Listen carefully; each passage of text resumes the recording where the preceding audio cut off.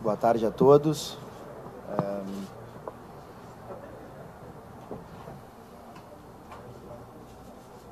Bom, alô, alô. Bom, boa tarde a todos novamente.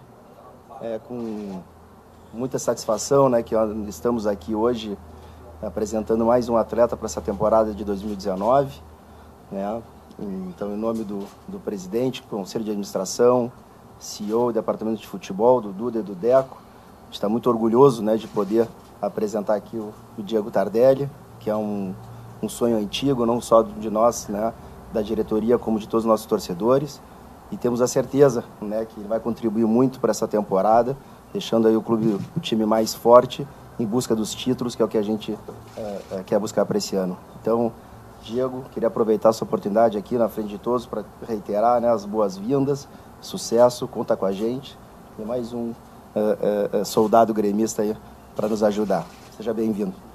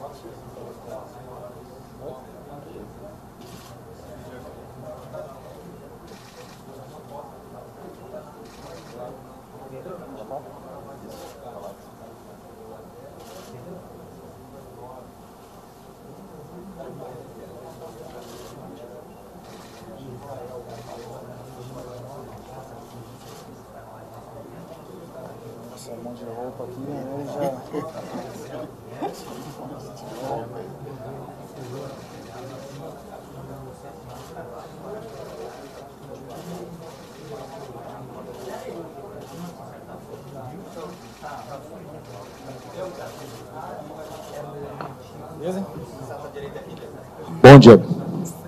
Boa tarde. Né? Boa tarde. Uh, queria que você falasse sobre essa vinda aqui para o Grêmio, né? o que, que representa para você, um jogador que tem uma carreira bastante né, extensa e construída dentro do futebol brasileiro, e falasse para a gente sobre duas pessoas, o que, que elas tiveram de participação nessa tua vinda para cá. O Renato, que abriu o jogo já desde a semana passada, e o Léo Moura, que a gente sabe que é um parceiro teu também, que ontem até, acho que até antes do Grêmio, ele me te anunciou em rede social aí verdade. Uma boa tarde a todos. Primeiro, quero agradecer ao presidente né, pelo, pelo esforço em, em poder me trazer para o Grêmio. Né, agradecer a todos, principalmente o Renato, né, que foi um, uma peça fundamental na minha vinda para cá. É, Léo Moura, claro, é, fez o contato comigo e, e, perguntou qual era, qual era a minha intenção, se já que estava livre no Brasil e a oportunidade de vir para cá. É, na mesma hora já passou o telefone para o Renato, Renato me ligou, batemos um papo. É, e não é de agora, já é um namoro bem antigo. Né? Acredito que desde, desde 2010 a gente tem esse, esse contato, eu tenho esse contato com o Renato.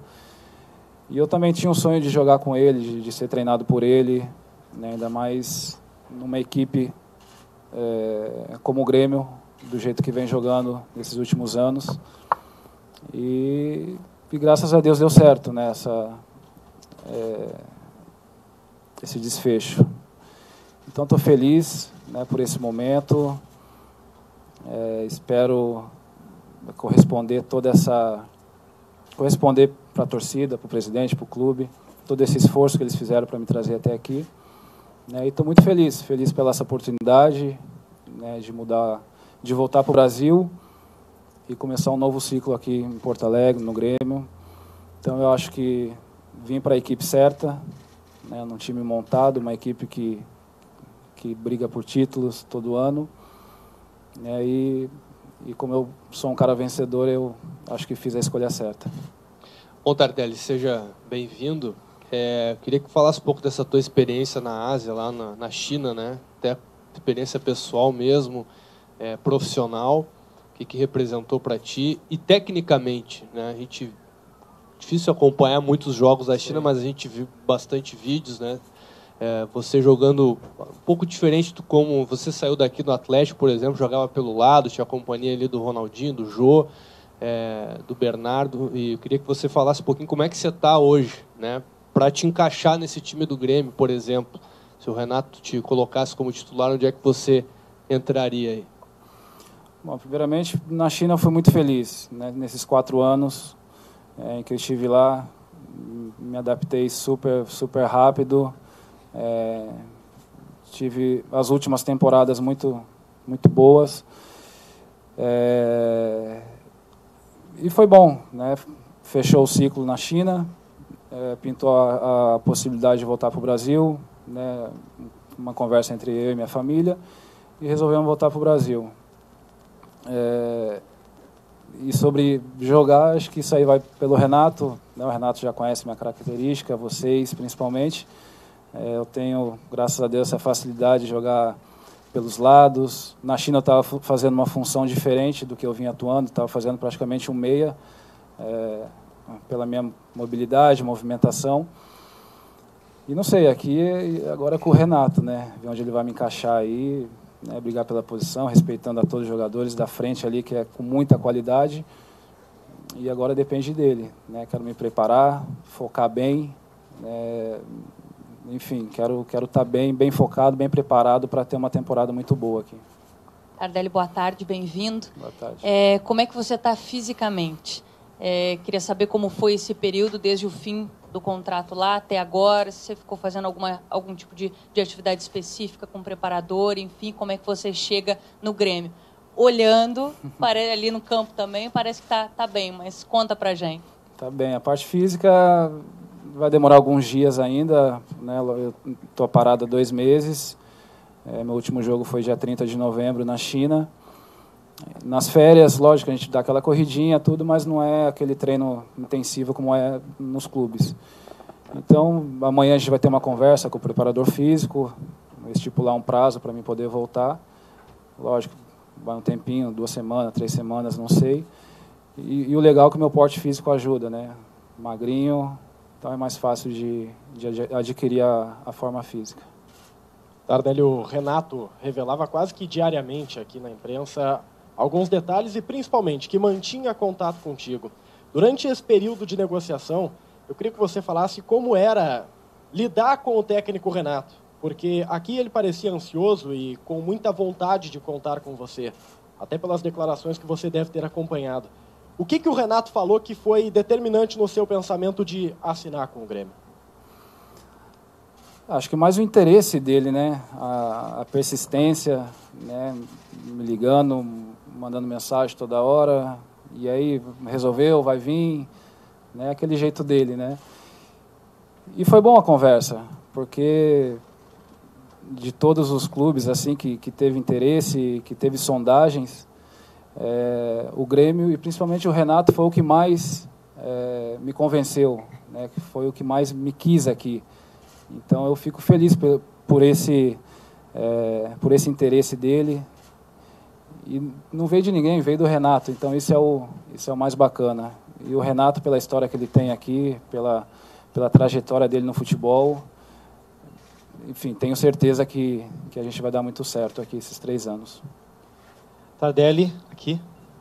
É, em primeiro lugar, bem-vindo ao Grêmio, bem-vindo a Porto Alegre. Obrigado. Eu queria te perguntar um pouquinho sobre rivalidade, né? Tu já passou por grandes clubes brasileiros, principalmente São Paulo e Atlético, e mais ainda no Atlético, tem mais rivalidade ainda com o Cruzeiro, e tu está vindo para provavelmente uma das maiores rivalidades do Brasil, se não a maior, Sim. que é a Grenal. E logo mais aí no Gauchão já tem Grenal, né? A gente não sabe se tu vai estar tá 100% ainda, se vai poder participar, mas eu queria que tu falasse um pouquinho sobre isso e se isso é uma coisa que te instiga também a estar tá jogando aqui. Esse tipo de, de rivalidade te instiga a jogar futebol também? Ah, sempre, né? Eu particularmente joguei grandes clássicos, tanto aqui no Brasil como na Europa. E eu sei o quanto é importante esse, essa rivalidade aqui no Grenal. É, nunca acompanhei de perto, né, mas a gente tem amigos, é, tem torcedores amigos que acompanham, sabe da, do fanatismo que é esse, esse, esse Grenal.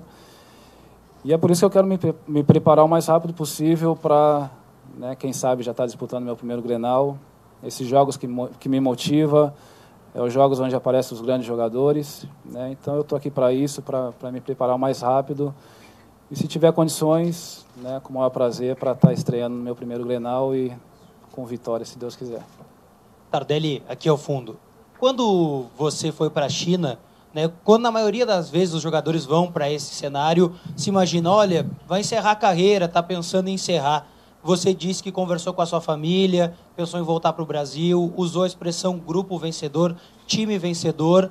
Qual é a motivação nova que te dá voltar ao Brasil? Explica para a gente isso, por favor. Ah, são os desafios, né, a minha vontade de vencer, como sempre foi, pelos clubes que eu passei, né, pelo meu currículo, pelos meus títulos. É, enfim, a vontade de, de, vencer que eu tenho. Então, isso que me motiva a voltar para o Brasil ainda tenho uma idade né, que eu considero que eu estou no auge da minha carreira, com 33 anos ainda.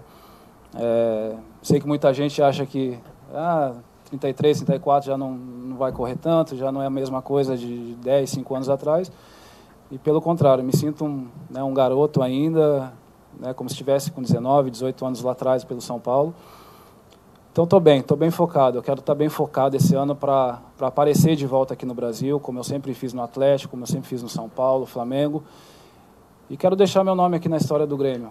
Né? Quero fazer história aqui, poder ganhar títulos, né? que é o mais importante. É... Vim para vencer, vim para conquistar grandes coisas aqui. Tardelli, bem-vindo. Obrigado. É, você falou agora de uma questão interessante no futebol, né? Depois dos 30, depois dos 30, muitos jogadores ou os especialistas já acham que os jogadores não vão conseguir desempenhar a função muito bem. Queria te perguntar em relação a isso, o Diego Tardelli de 33 anos e voltar um pouquinho daquele Diego Tardelli do Atlético Mineiro, onde você conquistou muitos títulos, né? Chegou à seleção brasileira também. O que, que mudou? Mudou teu estilo de jogo? Está mais próximo da área? Já conhece mais os atalhos do campo? Quais são as mudanças daquele Diego Tardelli que o torcedor brasileiro é, via lá no Atlético Mineiro? Acho que minha mudança, acho que é um amadurecimento dentro de campo. Né? A leitura tática, cortar caminho, né? coisa que a gente não fazia quando tinha os 18, 19 anos. Mas hoje eu me sinto um jogador mais completo, né? dentro de campo, fora de campo, me cuidando mais, se eu tivesse esse pensamento lá atrás, né, tinha certeza que eu estaria bem, bem, sei lá, no auge, num, num clube grande, na Europa, mas eu me sinto no meu, no meu melhor momento. Então é se cuidar do jeito que eu venho me cuidando e, e fazer o que eu, venho, que eu sei fazer dentro de campo, né? jogar bola, jogar com alegria. Então, acho que o meu amadurecimento dentro de campo foi fundamental nesses últimos anos para mim. Tardelli, é, tu é um cara que já conquistou, com 33 anos, tu já conquistou todos os principais títulos aí que um jogador brasileiro pode conquistar, é, duas vezes Libertadores, Mundial, Brasileirão. Hoje, com 33 anos no Grêmio, o que, que tu, o que, que tu acha que tu pode agregar a esse grupo do Grêmio que já é vencedor? E também, qual é um, objetivo teu? O que, que tu pretende conquistar, já que tu já conquistou tudo? Não, mas a gente sempre quer ganhar mais, né? Isso é isso é de nós atletas, de nós jogadores, é, principalmente para mim, né? Como você falou, sou um cara que eu eu gosto de vencer, gosto de ganhar título, gosto de entrar para a história. Foi assim no Atlético, foi assim no São Paulo. Então o que me motiva são são os títulos, né? Jogar com um jogador da qualidade que tem o Grêmio, né? Luan, Cebolinha, Maico, Jeromel. Então isso me motiva, né? Trabalhar com o Renato, um cara que também é vencedor. E esse é, o, é a minha motivação diária, né? Jogar pela minha família, pelos meus filhos que estão sempre ali comigo, né? Torcendo, me apoiando. Então isso é o mais é o mais importante. Tardelli, voltando ao Atlético Mineiro, né? O Atlético é conhecido como o Galo Doido. É um time muito ofensivo. Aqui o Renato, o time do Renato hoje é o melhor ataque entre os clubes da Série A. Tu acha que isso pode facilitar a tua adaptação ao clube? E também sobre o, o, o número, né? A numeração, a desta vaga, tu escolheu a 9. É, é um elenco parecido, até a gente estava comentando ali fora, é, as características de cada jogador lembram um pouquinho do Atlético de 2013, que a gente foi campeão da Libertadores, né, com aquele quarteto. Aqui é praticamente parecido, é né, um time que ataca muito, que tem a qualidade ofensiva né, do meio para frente. É, é um dos elencos que pode brigar por título, é um dos melhores elencos do Brasil e vai brigar por título novamente, né? Vai brigar pelo Brasileirão, Libertadores. E qual que é a outra pergunta? Ah, numeração. É, a 9 vem me dando sorte já tem um bom tempo, né? Desde a época do Atlético, que eu usei a 9, usei na China. Então é um número que vem me dando sorte. Né? O Jael fez essa, fez essa para mim ali no vestiário. Né? Com a saída dele, teve essa oportunidade de ter a 9 e espero representar. Diego, queria que tu comparasse o futebol chinês nesses quatro anos que teve lá, o que, tu percebeu de evolução, principalmente na parte defensiva, já que se imagina que tenha tido mais facilidade com adversários mais inocentes até certo ponto, e comparasse com, com a tua experiência na Libertadores, por exemplo, jogando pelo Atlético, mas o que, que tu imagina que seja a principal diferença entre os adversários na China e os adversários aqui na América do Sul? Ah, na China é um futebol que vem crescendo a cada ano. Né? No, no, no, meu primeiro ano, em 2015, já se viu uma evolução né, dos próprios atletas chineses. E com a chegada de grandes jogadores da Europa, do Brasil, fortaleceu mais ainda o campeonato chinês. Né?